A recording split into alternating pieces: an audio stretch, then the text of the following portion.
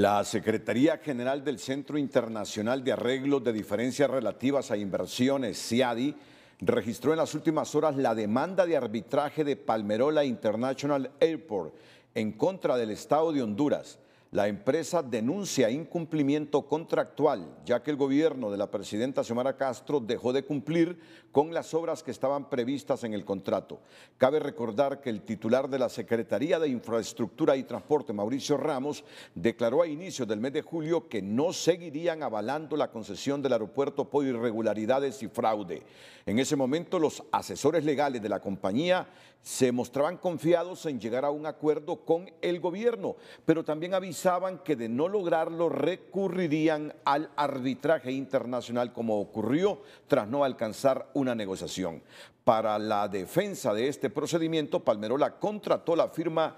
Interjuris de Tegucigalpa y Clyford Chains de Washington.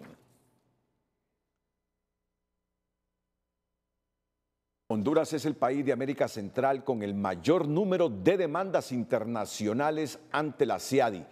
con ocho demandas en lo que va de 2023, y ello solo refleja malos síntomas eh, a la inversión, pues deja ver al país como una nación que incumple sus contratos, advierten los expertos, al predecir que esas demandas de cifras incalculables pueden ser pérdidas por el Estado, perdidas por el Estado. Honduras se anota el récord de ser el país de la región con más demandas por arbitraje de inversión ante el Centro Internacional de Arreglo de Diferencias del Banco Mundial, sumando ocho solo en los primeros nueve meses del 2023, que representan más del 70% de las que se han interpuesto contra Centroamérica y Panamá, situación alarmante por sus implicaciones jurídicas y económicas. Que es verdaderamente preocupante las consecuencias económicas, las consecuencias reputacionales y las consecuencias legales de todo esto.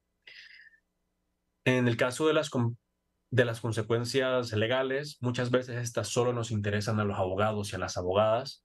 pero lo más alarmante es verdaderamente las repercusiones económicas. La de Palmerola se trata de la octava demanda presentada en el CIADI tras la de Honduras Próspera, JLL Capital, Autopistas del Atlántico, Escatec, Norfon, Juan Carlos y Ernesto Argüello y la de Inversiones y Desarrollos Energéticos. Esta cantidad de casos solo está mandando un mensaje negativo para los inversionistas. El mensaje que se está mandando a nivel internacional con todas estas demandas que en este corto periodo de tiempo eh, han presentado en contra de nuestro país es que en Honduras no se da cumplimiento con los contratos, que en Honduras no se cumple con la legislación nacional vigente. Los expertos en arbitraje de inversiones consideran que el gobierno debería llegar a una conciliación, porque de perder estas demandas, el Estado estaría obligado a pagar una multimillonaria cifra. La mejor salida en este tipo de conflictos siempre buscar el punto medio, o sea, eh, tratar de aprovechar el punto conciliatorio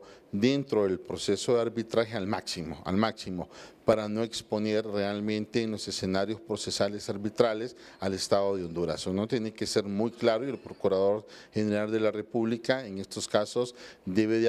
de la emotividad y del discurso político. Agrega que lo más grave es que por incapacidad de algunos funcionarios, esta generación y las venideras quedarán endeudadas, pues para una muestra, lo que se conoce hasta ahora es que únicamente la demanda de Próspera es por 10.775 millones de dólares, que equivale a más de 265 mil millones de lempiras, una cifra desproporcionada que representa el 65% del presupuesto de la República para el 2024. Telenoticias consultó al Procurador General de la República cuál es la defensa que se está haciendo para evitar estas demandas, sin embargo no se obtuvo respuesta. Sara Carranza, Telenoticias.